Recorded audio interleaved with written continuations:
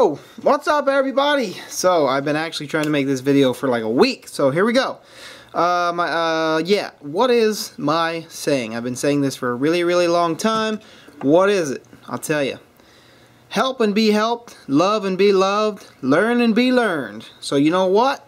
Don himself actually has done me a very, very big favor. Really, really cool. Something to show you. But before I show you that, if I can get these to stay, there we go. Um, I went ahead and wrapped some wire on this multi-layered uh, bobbin just to play around with it. I did wrap, uh, I don't know if you can even see it. I wrapped some wire down inside there in a different pattern. And I also wrapped wire around here in a different pattern. You can kind of see it crisscrossing. Um, yeah, so I did that. Now, Don, uh, Dino Don, 64, uh, most of you know him. He's the one who released uh, the estate photos to a few for um, all to see. I released them on my website if you haven't seen them, uh, as well as a few other people. Now, what's really, really cool is that I don't have any wire, proper wire, or any cores for this. So Don himself has made cores, okay? He made these I think two years ago and from what I understand he made three sets. And Tony Woodside has one and here's the other one. So here's the whole stack of cores. Uh, this is uh, quit there you go. Laminate regular laminated cores like you'd find in a regular transformer. Alright uh, the ends are right here don't drop them. Okay. All of them are there. He hand cut all these. Um, now the only thing that I've run into thus far is that my outer bobbin is just not quite not quite well. These fit just right. Like this length. They fit uh, exactly the way they should. But this way, as you can see, I'm hitting. And uh, I'm gonna have to make an outer bobbin just ever so slightly smaller than what I have. So I'm gonna be doing that. Alright. Now the other thing that Don sent me is this right here. And this is the stainless steel wire that was at Stan's estate alright I've calipered it. I've measured it. Um, I've done some interesting tests. I've uh, played with it a little, cut off a little piece. Um, Don doesn't know if there's enough even here to do the whole thing, the whole VIC, but I think there is quite a bit on here. Um, this is really small wire, but it's I measured it to be around um, 16.5 ohms per foot, and um, the other guy was saying it's about 15 ohms per foot. So this is um, 430 stainless steel enameled wire. Let's see if you can see if we can get a, a close up how small it is. It's tiny stuff. Alright, so there you go. See how small it is. Um, I will post all measurements, documentation on this wire um, that I can do on it. Um, it is magnetic. It's really, really some weird stuff. It's really tough, really strong. Um, yeah. Don, what a freaking blessing, buddy. You have no idea. Um, this gives me the best opportunity to make this VIC coil work. You've given me the cores and the wire. Um, I will have to be purchasing some other wire. Um, I did post a really uh, a lot of information drawn from the uh, patents. I, I, grabbed all the information I could find and posted it on a particular thread um, over at the uh, forums. I will also be posting any documentation I do on any of this other stuff there the next thing I have to say, uh, before I move on, I just want to say thank you, Don, and thank you everyone else for your uh, support. Um, it's needed, and uh, I appreciate it. So, moving on. Next thing I got to tell you is uh, still about the VIC. We did get the um, the cores ordered. Um, it'll be mm, about four to five weeks, hopefully less, to, to get the cores for this particular VIC. Um, and the next thing I want to tell you is very important. Um, I want to give my, my, my biggest shout out to Tony Woodside. Um, he uh, he's been in contact with me uh, a lot more lately, and everybody over at the forums. And um, I hope it stays that way. Tony's a really great guy, and um, you know he's he's full blown open source. He has released the uh, VIC schematic that he has built and he's selling on his website. He has open sourced that particular schematic.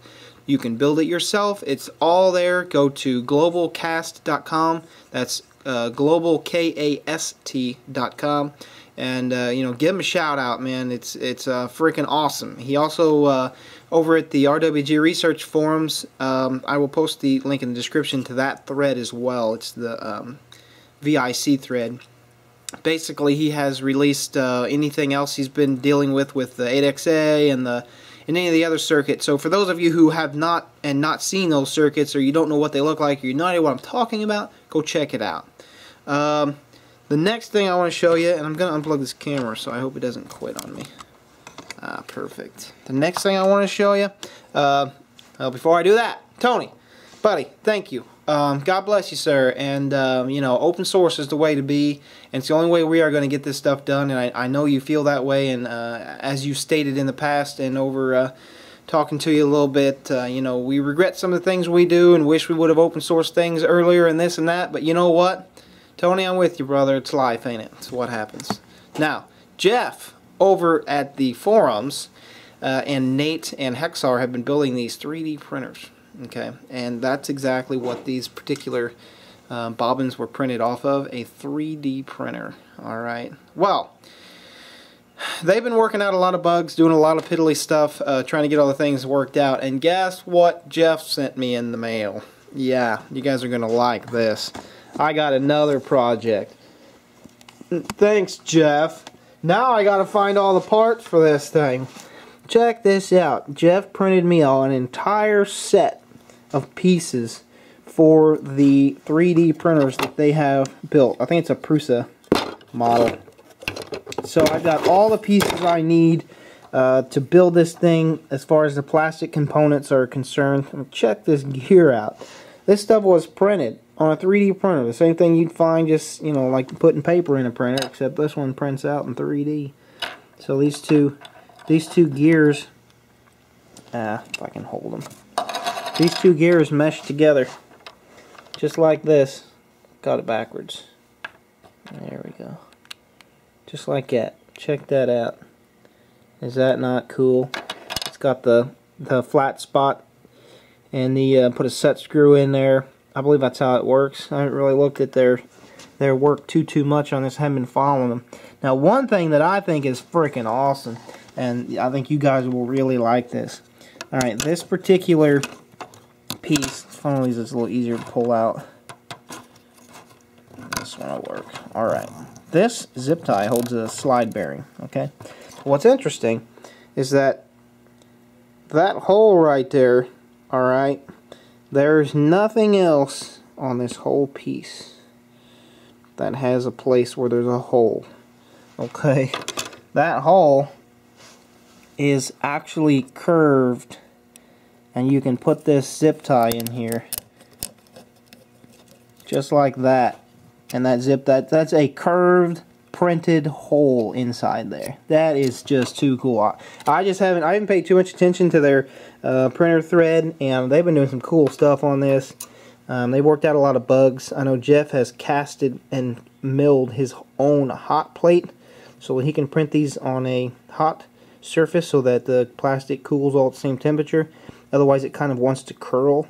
And uh, after seeing some of Nate's prints and Jeff's prints, I must say, Nate, you got to get your hotbed working if you haven't, because these things are just flat, flat, flat. I mean, you can't get you can't get any flatter, and uh, it's all due to that uh, that bed, heated bed. Pretty nice. So there you go. Now Jeff's going to have to uh, cast and mill me a, a hot plate and I'm going to have to find all the parts. I actually have some stepper motors and stuff I could use, but I might have to get something different. The ones I got are a little bit bigger. You can see here's a, a motor mount. And uh, that's where the pulley and the timing gears are. These these gears are actually for those little timing belts. You can see how they're shaped. that's too cool. So I got to give a big shout out to Jeff too for sending me that. He also sent me a little uh, mechanical counter. And uh, Dude, just sharing the love, guys. Um, sharing the love. That's what I'm talking about. Peace and love to you all. One last thing I want to say, if you haven't seen Tin Man's last video, please go check it out. Pretty cool stuff. He's taking heat, converting it into electricity. So normal exhaust waste, turning it into electricity. Um, that is freaking cool. So there's the first item that actually came from Stan's estate that I'm holding in my hands. So I want to give Don a big shout out again for, for allowing me to do that. Pretty cool stuff. Um, other than that, this Russ, rwgresearch.com. I will be doing a live show this weekend. Um, I got a, a pipe to finish off the exit on the exhaust gases. Uh, some of you were thinking maybe the exhaust gases were being sucked back into the intake and not from the uh, exit part of the engine. Well, I decided to uh, quickly hold a cup metal can over that exhaust and you can almost close the exhaust off and that engine will just continue to run just fine. So I'm uh, going to make my adapter and put my last ball valve on there and show you guys that. Uh, it will run on its own exhaust gases for um, not completely shut off. It'll run for two or three seconds completely shut off, obviously. But even even with it just barely cracked open, it's continuously circulating. And yes, that uh, little squiggly pipe does actually cool uh, the uh, the exhaust gases. This right here. This this does really well for cooling the exhaust gases. Um, I'm gonna have to make a little bit better setup here on my intake here, not to fix something up there. But I'm gonna put a ball valve here, and um, yeah, that is some cool stuff. So big shout out to everyone, um, anyone who's done anything lately, and I have not gotten back on people with my emails and people have been trying to contact me. I've just been trying to uh, keep my mind focused on a few other things in life and uh, keep life continuing on the right path forward. Get this stuff done. So there you go. Thanks guys. God bless you all. Take care. Please uh, leave a comment as normal. Still haven't got back to any of my YouTube comments. Disappointing. I know. My apologies to you all. But uh, I will. And uh, thank you guys for the comments. It's good to see comments. That means people are listening to the videos and seeing what I have to say. I find that important. Alright, so what's the motto? Ready? Love and be loved. Learn and be learned. And uh, help and be helped. Okay? That's what's supposed to happen. So, that's what's happening. Alright, peace out. Uh, live show this uh, Sunday night it's early Monday morning. I do it at midnight Sunday night, so it's 0 100 hours on Monday. Okay? I'll see you there. Have a good day. Bye. You thought it was over, didn't you? Actually, it was, but I forgot. I forgot to add my good bud Blaine, my good buddy Blaine into the system here. Sharing the love and totally forgot. So, what I wanted to show you is what Blaine sent me. And what I like about Blaine is that I asked him very kindly if he had another one of these power supplies. 10,000 volt positive supplies. And guess what he did? There is the, the other one he sent me a long time ago. And here's the, the next one. Um, I'm actually theoretically borrowing these. And I believe I actually uh, said about some stuff about Blaine before. But I wanted to show you how he packs stuff. This is hilarious. So this was in the middle of the box. And then what he likes to do is pack the rest of the box with stuff and sometimes this stuff's awesome. Um, look at these resistors and, and, and there's a few capacitors in here and stuff. He just piled this stuff around there, random pieces and parts and coils and a whole stack. I already got a stack of these a while back, a bunch of different uh, Zener diodes, a bunch of stuff. Uh, some heat sinks, uh, big old giant capacitors, small capacitors. This thing's pretty cool. This is a uh, like a torch for propane or just like a, a flame. Awesome, awesome. Uh, but my favorite thing in this box besides the high voltage supply is this ignition coil. Two prong ignition coil. That's going to help me out because in other ones I'm having some issues running them correctly but that should work out perfect. And the last thing that I should never give to my kids is this shocking cell phone. My wife did not like it. She did not like it at all. It was very bad. Anyway, uh, that's it. Just want to give a shout out to Blaine because I forgot to do that. How shame, shame of me. I know, I know. Alright, I'm out. Have a good day, guys. Peace.